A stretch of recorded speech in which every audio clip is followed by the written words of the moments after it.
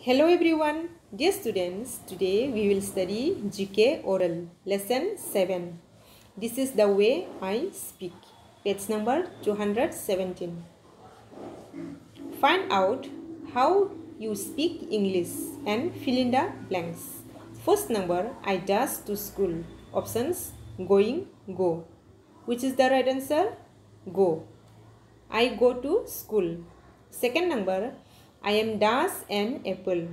Eat or eating? Answer will be eating. I am eating an apple. Third number I dash cricket. Play or playing? Answer will be play. I play cricket. Fourth number I can dash. Singing or sing? Answer will be sing. I can sing. Once again, I go to school. I am eating an apple. I play cricket. I can sing. Dear students, we have to study well. That's all for today. Thank you. Have a nice day.